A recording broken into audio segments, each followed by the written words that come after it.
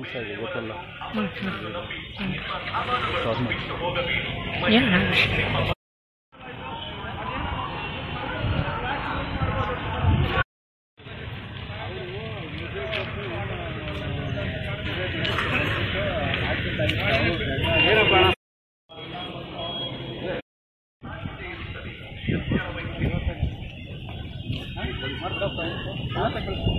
ಇದೀಗ ಕರ್ನಾಟಕದ ಜನತೆಗೆ ಶ್ರೀಕಂಠೇಶ್ವರವರ ವತಿಯಿಂದ ರಾಜ್ಯದ ಅತಿ ಹೆಚ್ಚು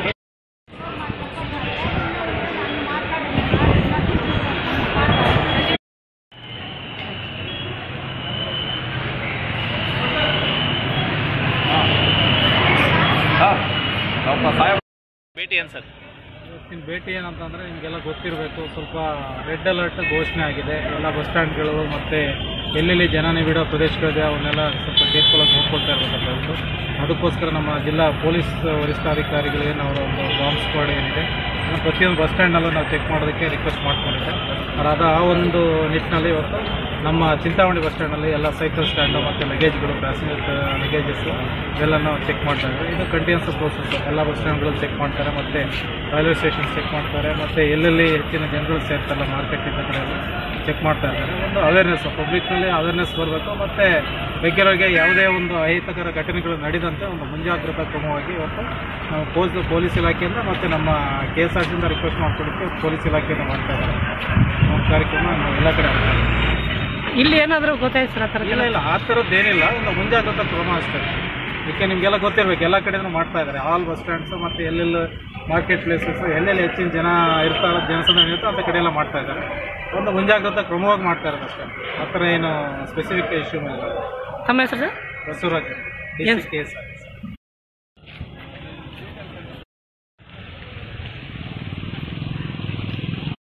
ಆರ್ ದಿವಸ ಆಗಿದೆ ಗೊತ್ತಲ್ಲ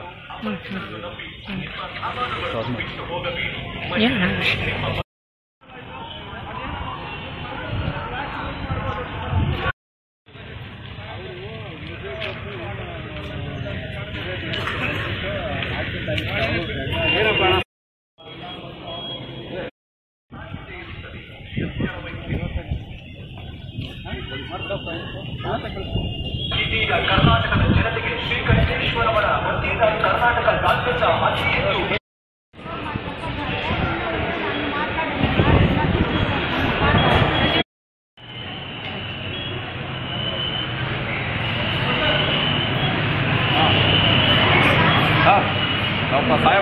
ಭೇಟಿ ಏನು ಸರ್?